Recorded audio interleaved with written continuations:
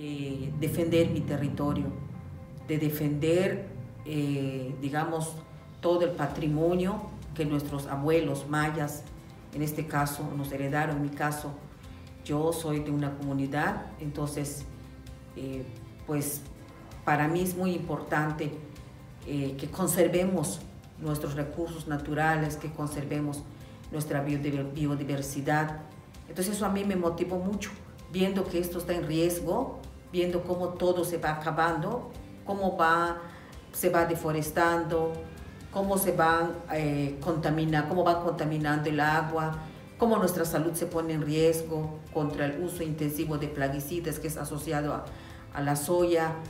Eh, y eso a mí me, me hizo tomar conciencia, tomar conciencia y decir, voy a empezar a defender como mujer, como madre de familia, tengo esa responsabilidad y ese compromiso con mi cultura, con mis antepasados, de defender ese territorio que nos heredaron.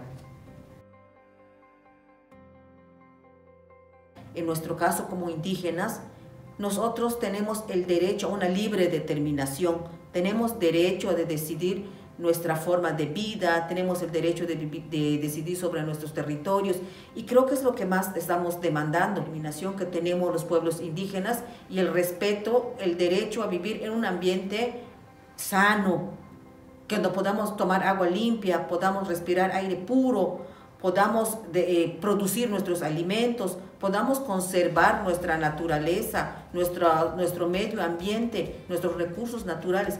Yo creo que eso al gobierno le tiene que quedar eh, claro, ¿no? Que, que existen leyes, pero antes de esas leyes también estamos las personas, estamos los seres humanos y en este caso estamos los indígenas. Bueno, como mujer me he encontrado con desafíos eh, en mi defensa. En mi defensa porque una mujer eh, de por sí estamos, sufrimos discriminación, más cuando uno eres indígena, cuando es ser indígena.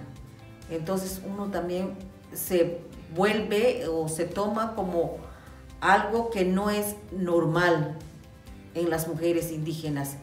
El que pueda salir de tu lugar, de un lugar, digamos, privado como es la casa, salir a un lugar más público, un espacio más público, como mujer, eh, formo parte de un, de una de un movimiento, cómo formo parte de una defensa, de una defensa de un territorio, de unas tierras, de un medio ambiente. Me siento muy orgullosa porque siento que estoy, no tal vez resolviendo todo el problema, pero sí estoy contribuyendo para que más mujeres puedan decir sí se puede. Las mujeres también somos partes importantes de este mundo.